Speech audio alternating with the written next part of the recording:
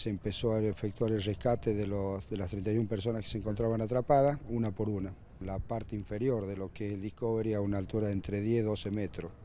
Y la otra parte superior, donde se encontraban las otras personas atrapadas,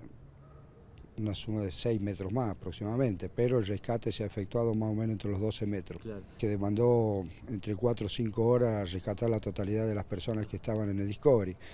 Eh, lo que pasa es que se tenía que tener muy en cuenta la precaución para el rescate de cada uno de ellos en virtud de los riesgos que esto representaba. Se abría la baranda principal, que era la que sujetaba a los cuatro, los cuatro ocupantes, y después manualmente una por una se iban abriendo cada una de las partes que sujetaban los hombros de las personas como medida de seguridad y previo los operarios que teníamos en la parte superior de la barquilla eran los que le efectuaban los arneses adecuados para evitar de que alguno de ellos precipitara. Entonces de brindarle todas las medidas de seguridad hasta colgarlo y subirlo a la, barquilla de la autobomba y de ahí descenderlo al rapel en forma directa por cuerda. Cuando nosotros arribamos al lugar donde se había producido el inconveniente,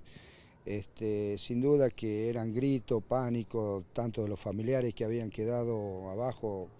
este, y todas las personas que estaban en la parte superior del Discovery. Este, sin duda que el pánico, eso es sobreentendido porque no es una cuestión natural, pero bueno, eh, una vez que nosotros hemos alcanzado llegar con